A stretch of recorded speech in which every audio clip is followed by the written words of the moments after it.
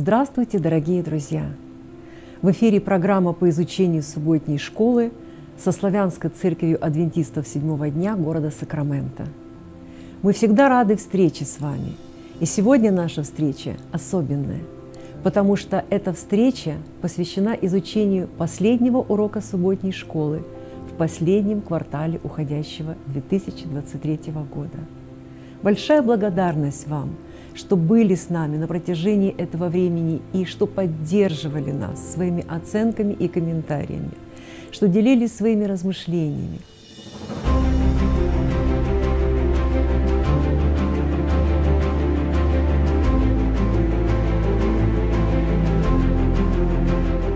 Квартал заканчивается, но наш канал продолжает свое существование – и очень скоро вашему вниманию будет представлена новая серия тем для изучения Писания. А сегодняшняя финальная тема носит название «Завершение миссии». Первые уроки темы о Божьей миссии рассказывали нам о том, как зародилась миссия и кто стоял у ее истоков. А последний урок подведет нас к логическому завершению того, что было начато еще задолго до существования Земли. И, как обычно, к этой теме предлагается памятный текст. Прочитайте, пожалуйста. Если так все это разрушится, то какими должно быть святой жизни и благочестие вам, ожидающим и желающим пришествия Дня Божия, в который воспламененные небеса разрушатся и разгоревшиеся стихии растают. Прекрасный текст, дающий нам всем надежду. Но говоря о миссии, о которой мы рассматривали на протяжении всего этого квартала, скажите, пожалуйста, все-таки повторим еще раз, кто же стоит за миссией для последнего времени? Это написано в Откровении первой главе, первый текст и первая часть этого текста. Откровение Иисуса Христа, которое дал ему Бог, чтобы показать рабам своим, чему надлежит быть вскоре. Так кто же стоит у истоков миссии? Бог, Иисус и Дух Святой. Вся да. Троица вместе, они да. стоят за Триединый Бог. Истину. Да. Которые трудятся для спасения душ. А в чем заключается Божья миссия для искупленных?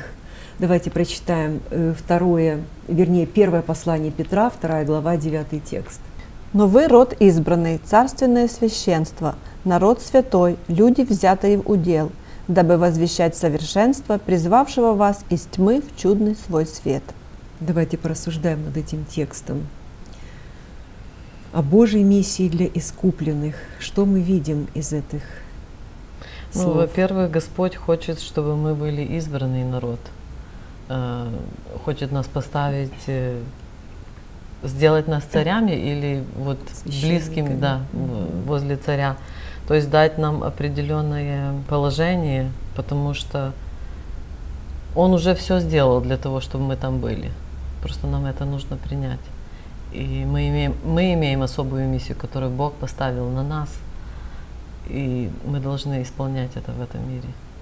Но еще очень важно понимать, что этот статус налагает еще большую ответственность на нас. То есть мы ответственны за то, что мы имеем, за, что, за то слово, которое мы получили, за тот размер истины, который мы получили, и мы ответственны за то, насколько мы правильно и мудро будем распоряжаться талантами, которыми нас наделил Господь. То есть мы не только вот царственное священство, народ святой, да, э, взятый в удел, как вот э, пишется в Слове Божьем, но мы еще несем ответственность, как мы будем нести людям эту весть.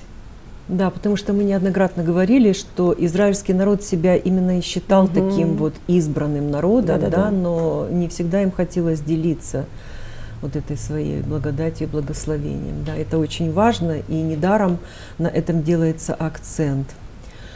Да, в самом деле Библия неоднократно призывает нас делиться чудной вестью о спасении. И само название нашего движения «Адвентисты седьмого дня» несет в себе главную весть о втором пришествии Христа. Его происхождение от латинского слова «adventus», то есть «пришествие», но истина о втором пришествии – это не просто хорошая новость на будущее. Люди должны увидеть, что значит жить с надеждой на второе пришествие и новую землю. наша вера должна не просто ограничиваться проповедью Евангелия, но вести к преобразованию жизни верующих. Да, мы сегодня ограничены из-за воздействия греха и смерти, но эти ограничения не исключают возможности демонстрировать фрагменты новой жизни уже сегодня. Для тех, кто действительно испытал на себе любовь Бога и верит в обетование Писания, вечная жизнь начинается уже сейчас.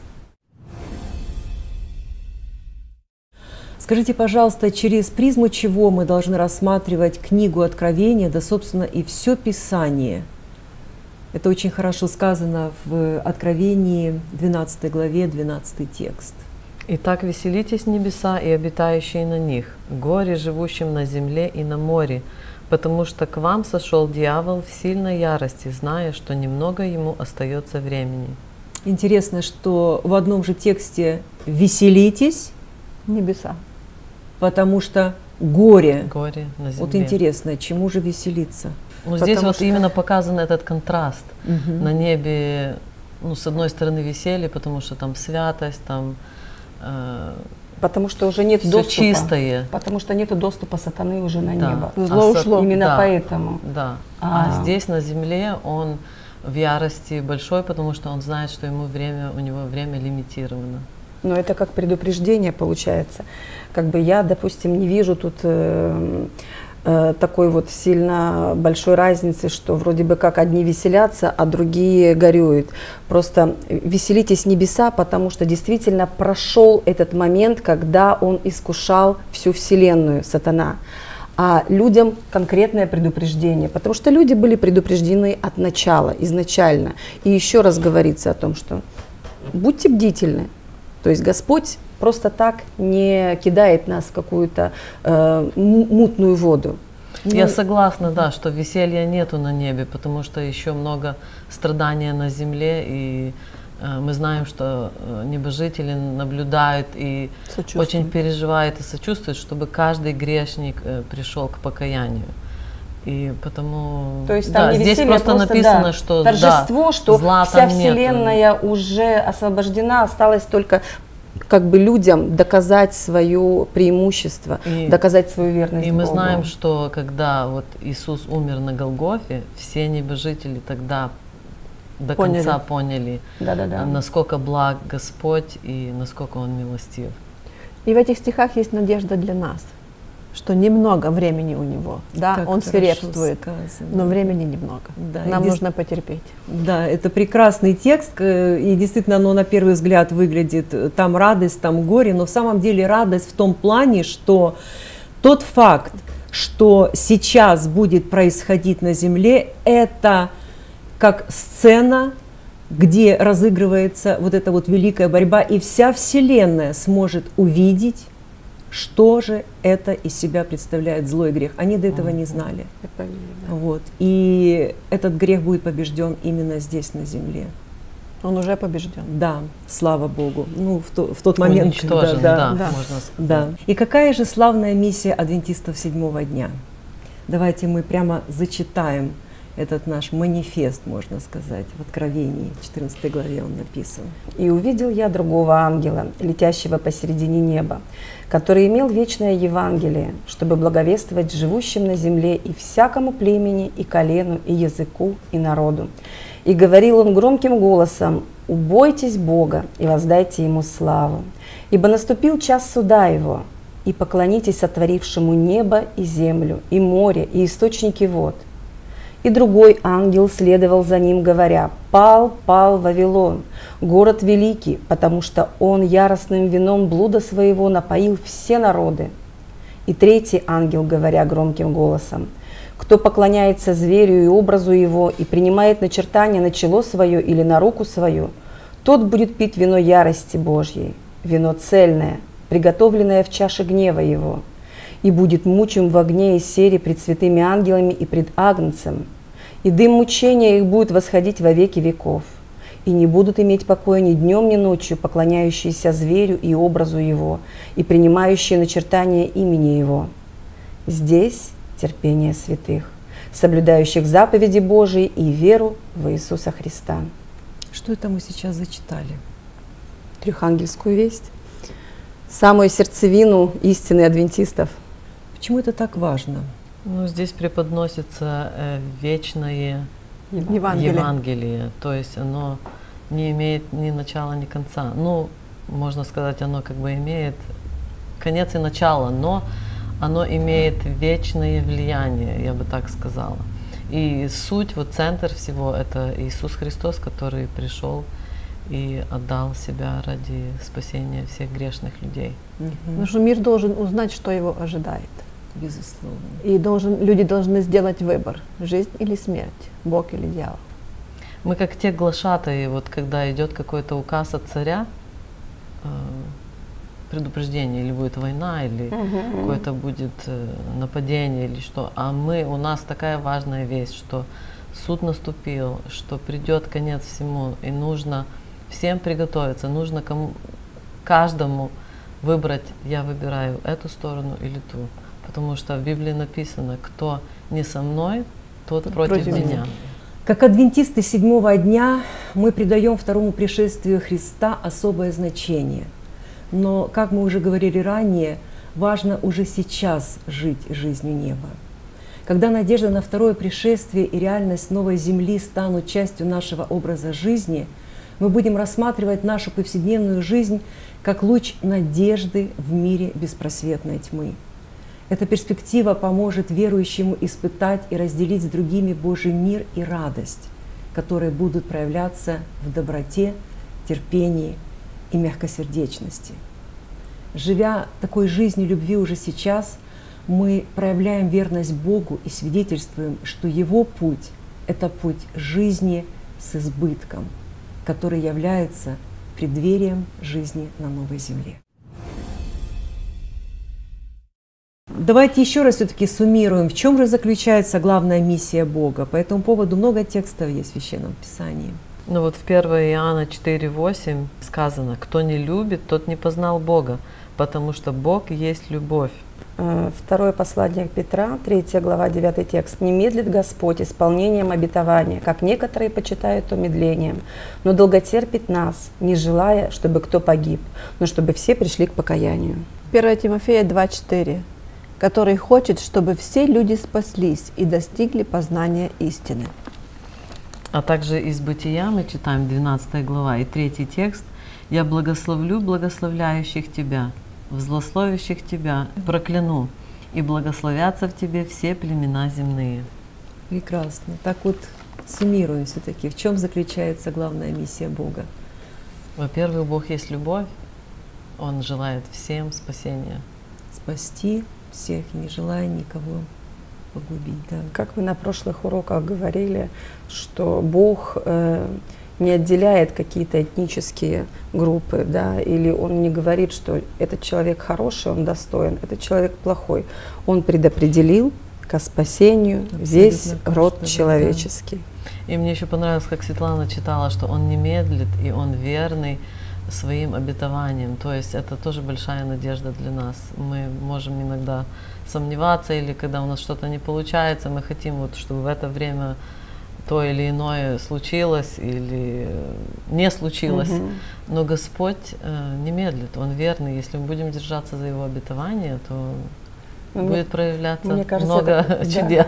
Это очень важный такой вот момент, ты подчеркнула, потому что иногда мы действительно, вот, допустим, я в своей жизни думаю, ну вот это как раз-таки то время, когда нужно было бы, э, чтобы обстоятельства сложились вот так, а они сложились совершенно по-другому. И мы думаем, ну где Господь? Ну Вот где Господь? Он, э, тем более, что как бы это все касается Его дела. А у Бога свой план, и Он действительно не медлит. И если мы об этом будем помнить, то мы всегда будем понимать, что Бог все делает в свое время, и все будет в свое время, и в служении, и в жизни в нашей. Верным все содействует ко благу. Аминь. Да. И все-таки опять возвращаясь к трехангельской вести, давайте тезисно вот буквально скажем, в чем ее суть. Но если коротко сказать, то две центральные темы Трехангельской вести – это вечное Евангелие и поклонение Творцу.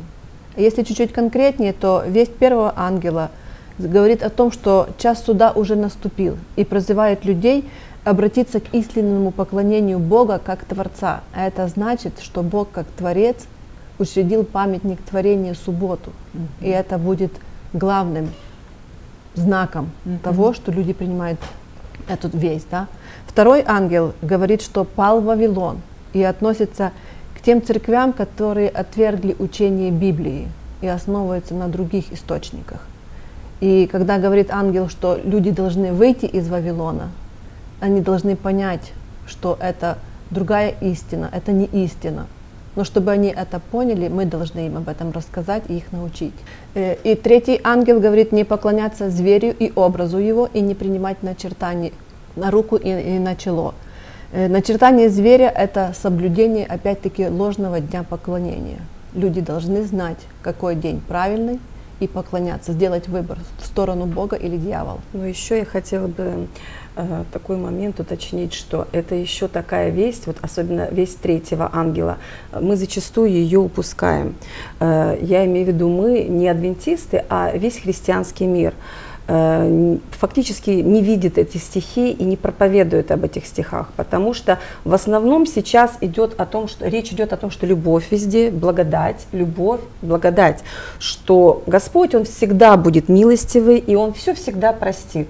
Главное, что мы признали Христа, это действительно главное, но нам ничего не нужно делать от себя, от, э, ну, со своим характером, со своей жизнью то тут как раз-таки весь третьего ангела говорит, что в конце-то концов, к сожалению, а может быть и к счастью, все-таки будет какой-то предел беззаконию, и что все-таки э, нам необходимо понять, на какой стороне мы стоим, и нам необходимо получить печать Бога и отказаться от печати дьявола. То есть этот выбор за нами, за каждым из людей.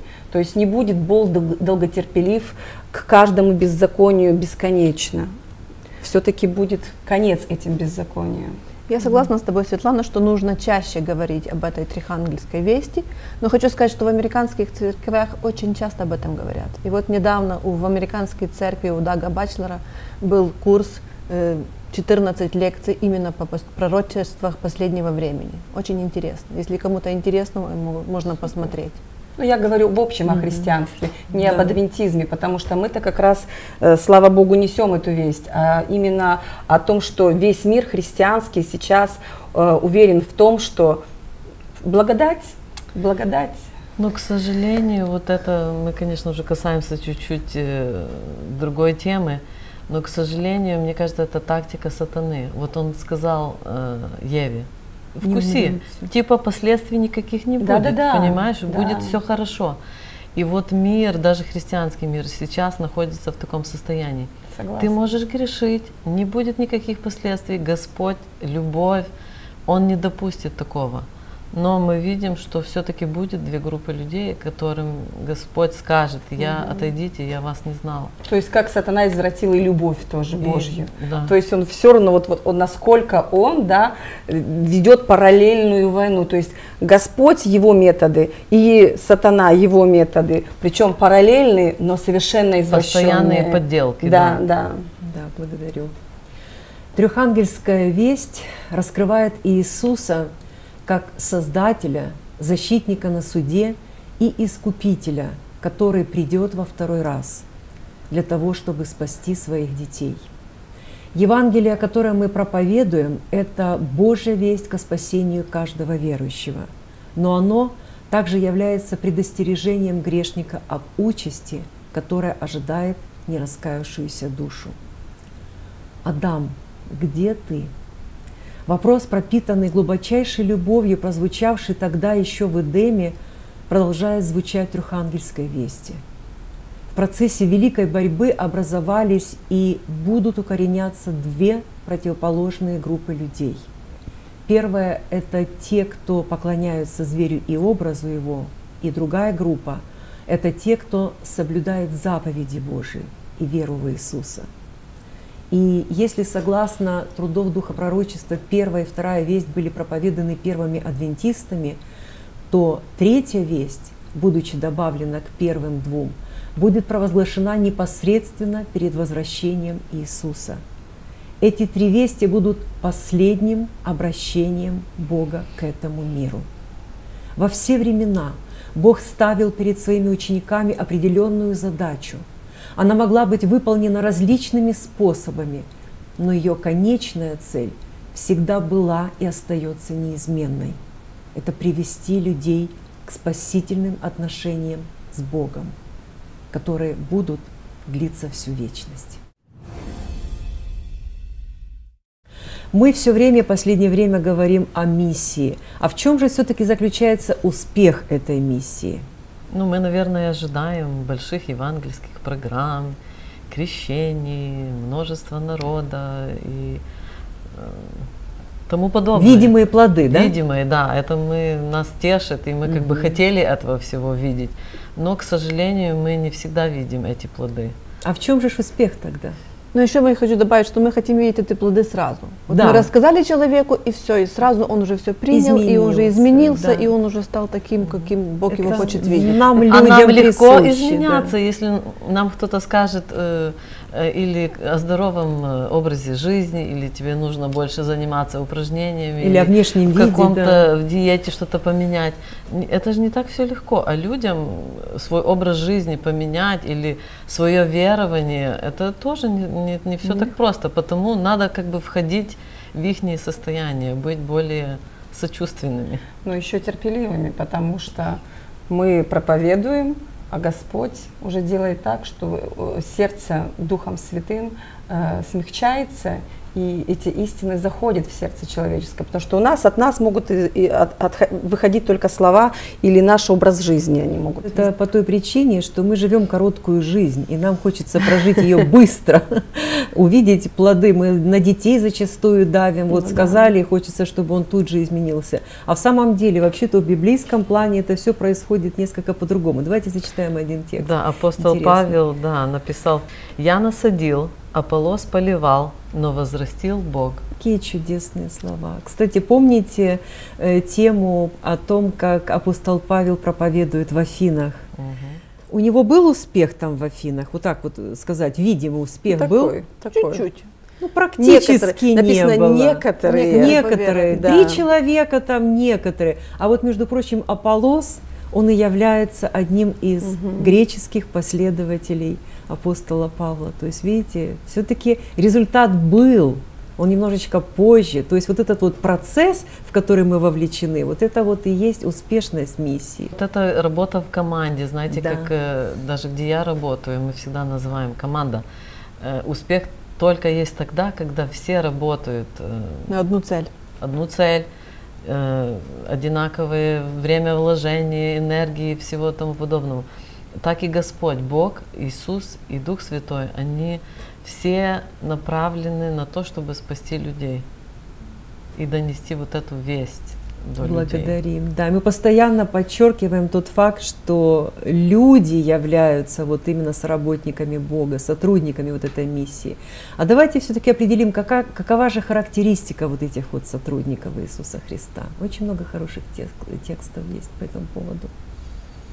Вот Исаия из Старого Завета, 30 глава, 21 текст говорит, «И уши твои будут слышать слово, говорящее позади тебя. Вот путь, идите по нему, если бы вы уклонились направо, и если бы вы уклонились налево». Евреям, послание к евреям, 3 глава, 12 текст. «Смотрите, братья, чтобы не было в ком из вас сердца лукавого и неверного, дабы вам не отступить от Бога живого». И 1 Иоанна, 1 глава, 9 стих. «Если исповедуем грехи наши, то Он, будучи верен и праведен, простит нам грехи наши и очистит нас от всякой неправды». Откровение 19.8. «И дано было ей облечься в весон чистый и светлый. Весон же есть праведность святых». То есть это люди, которые следуют за Христом, они знают голос своего пастыря, у них э, чистое сердце, у них нет лукавства, эм, они очищены, как мы прочитали, что Господь очистит их от, всякой, эм, от всякого греха. Ну и любовь у них. И они уверены, их не качают с одной стороны в другую, они уверены в той вести, которую они приняли. А почему они уверены? Потому что они знают голос своего пастыря. Да, а голос пастора, откуда пастыря, откуда мы можем знать? Вот в Откровении, Здесь первая глава, святых. третий текст, очень красивый и хорошо. Так, знаете, это такая весть, э, наверное, всего нашего урока. Э, Откровение, первая глава, третий текст. «Блажен читающий и слушающий mm-hmm. слова пророчества сего и соблюдающие написанное в нем, ибо время близко». То есть блажен читающий, слушающие и соблюдающие. То есть нет э, как, какой-то отдельной да, аудитории. То есть все вместе приводит нас к тому, что мы будем удостоены Царства э, Вечного, Царства Божьего. Mm-hmm. И в конце-то концов э, Господь опять-таки напоминает, время близко. Когда придет время, и мир будет разделен на два лагеря, те, кто с Богом, и те, кто против Бога, именно эти послед... последователи Христа, у которых будут вот эти все характеристики, которые мы перечислили, они будут возвещать дальше трехангельскую весть. И я захотела, хотела зачитать бы э, цитату из э, «Великой борьбы». Те, кто останется верен своему Спасителю, продолжат возвещать трехангельскую весть, предоставив ему позаботиться о результатах. Они с просветленными лицами будут торопиться принести небесную весть во все уголки земли. Эта весть будет распространяться не только с человеческой мудростью, сколько глубоким убеждением Духа Божьего. Истина ясно открыта, и истинные дети Божьи разрывают узы, связывающие их. Несмотря на сплоченные силы противников истины, большое число обращенных перейдет на сторону Господа. Аминь. Слава Богу. Да, Божья миссия сосредоточена на отношениях. И наш Господь всегда хотел пребывать среди своего народа и общаться непосредственно лицом к лицу. Такое единение – главная цель Божьей миссии. Сегодня, ежедневно общаясь с Иисусом, мы уже предвкушаем жизнь на новой земле, жизнь лицом к лицу с нашим любящим Спасителем. Второе пришествие Иисуса будет великим и славным.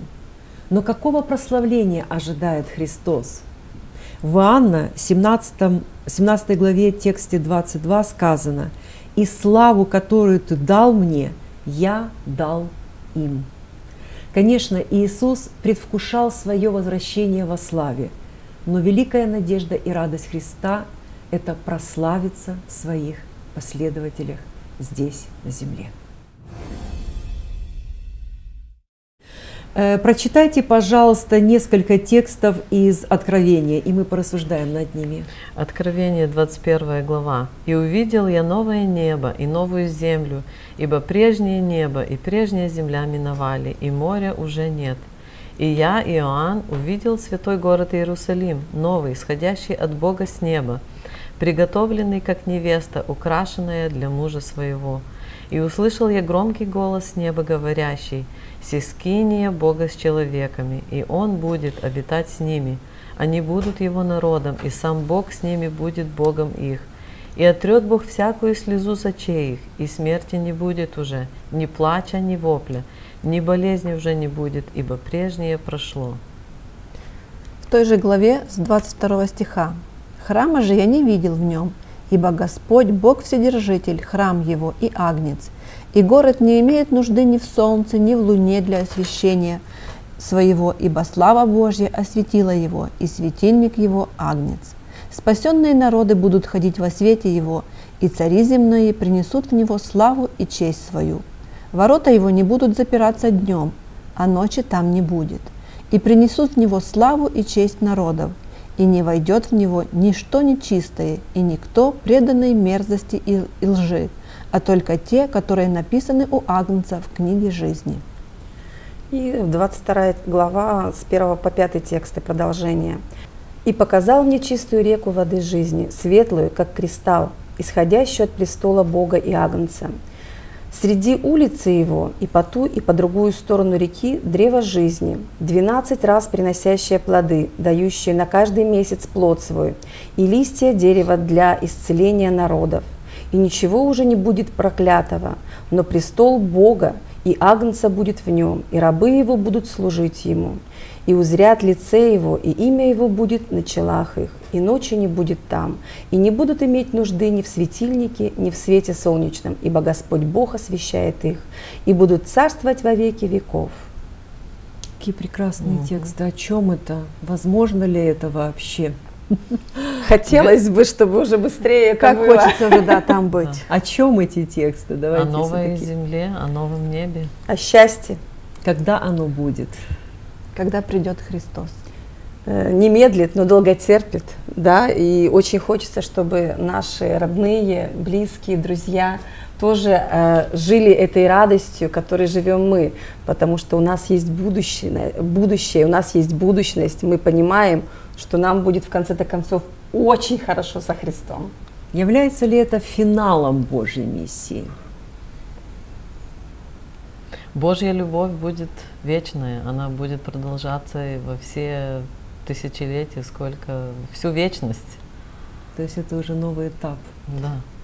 Ну, ну, да, на земле, наверное, да? да. Еще воскреснут умершие, а мы преобразимся, у нас будет другое тело, мы не будем болеть, мы будем молодые, все красивые, и мы будем вместе с Христом на небесах. Это Слава Богу. Но мне очень понравилось здесь, когда э, Иоанн говорит, что э, все скиния Бога с человеками, и Он будет обитать с ними. Это желание Бога было всегда обитать с человеком, но грех разделил нас.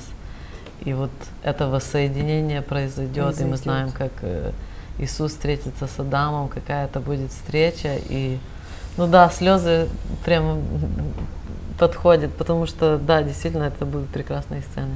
Да, благодарю. И центр Вселенной будет на нашей земле. Тут, да. где Иисус умер, тут будет центр Вселенной.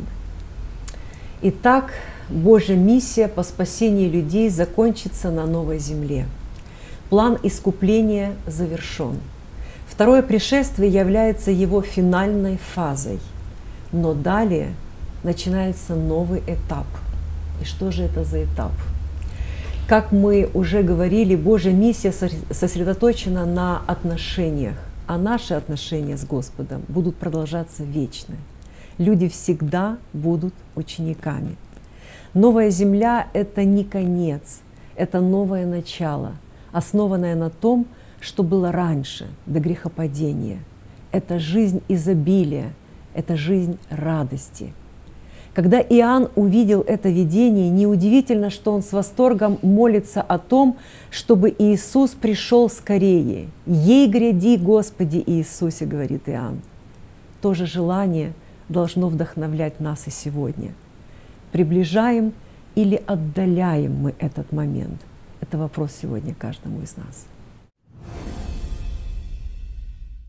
Как обычно, на каждую тему нам предлагаются практические задания. Позвольте, я их зачитаю. Как вы приближаете возвращение Христа? Сеете ли вы семена надежды в сердцах тех, кому нужно услышать благую весть? Поддерживаете ли новообращенных, помогая им понять, что значит жить жизнью верного послушания Христу? Молитесь о возможности рассказать о новой земле людям из вашего ежедневного молитвенного списка. И задание со звездочкой. Некоторые из ваших учеников могут быть готовы принять Христа. Это включает в себя присоединение к церкви или группе верующих. Поставьте себя на место этих людей и представьте, что вы впервые пришли в свою церковь. Насколько ваша община готова принимать и обучать новых людей? Открыты ли вы для создания новых групп верующих? Разработайте стратегию для устранения слабых мест. Поделитесь своими мыслями с вашим церковным руководством и работайте с ним над реализацией плана, чтобы более целенаправленно приобретать учеников для Христа. Еще один год уходит в вечность каким он был этот год для каждого из нас и для всей планеты в общем. Чего в нем было больше? Радости или горя, приобретений или потерь, рождений или смерти? У каждого есть свой ответ на этот вопрос. Но одно мы можем сказать вместе.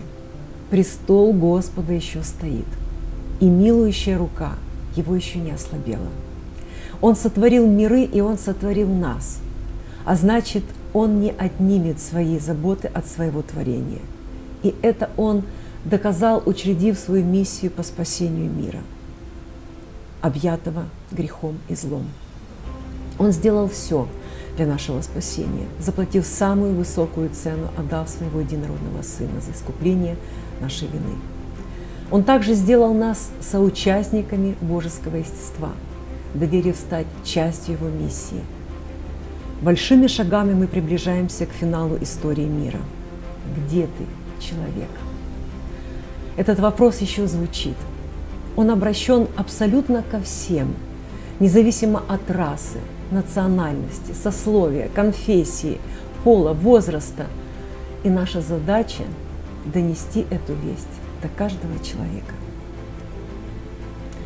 Когда очень скоро в кругу родных и друзей вы сядете за новогодний стол, вспомните о тех, кто не имеет этой возможности.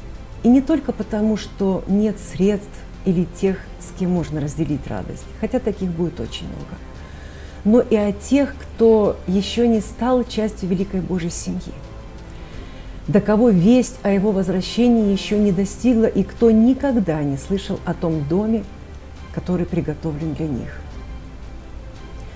Мы сегодня с вами не прощаемся. Мы говорим до новых встреч, потому что у субботней школы нет каникул – со следующей субботы начнется новый квартал, Нового года, с новой темой и новой командой.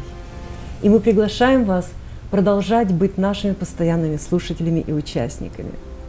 А сейчас, в преддверии Нового года, мы всей нашей командой хотим поздравить всех вас, наших дорогих слушателей. Что бы ни принес нам наступающий год, я желаю, чтобы мы находили радость в нашем Искупителе Господе Иисусе Христе. Что бы ни случилось, что мы всегда держались за Него, и чтобы Господь помог нам приблизиться в этом году к Нему. Желаю, чтобы в новом году мы еще ближе стали к Богу и друг к другу, а также, чтобы в небесной книге жизни остались записанными наши имена, а тех, кого еще там нет, чтобы ваши имена там появились. Дорогие друзья, желаю благословений до избытка всем вам, и всем нам. Пусть над нами будет всегда мирное небо, и пусть Господь всегда будет самым главным в наших семьях. Пусть Господь обильно благословит вас в новом году. Желаем вам веры, надежды, любви, добра и мира. Отец Небесный, спасибо Тебе за то, что мы можем называть Тебя Отец – Спасибо Тебе за этот подарок, которого мы недостойны. Спасибо Тебе за жизнь и спасение, и особенно за Сына Твоего, который это спасение сделал возможным. Спасибо Тебе за то, что сделал нас своими учениками и позволил нам стать частью Твоей великой миссии. Мы стоим на пороге Нового года, Господи. Мы не знаем, что Он принесет нам. Но мы идем в это будущее вместе с Тобой и знаем, что в итоге оно будет прекрасным. Прими из уст наших честь, хвалу и благодарение, и да прославится имя Твое во всех краях земли. Аминь. Аминь.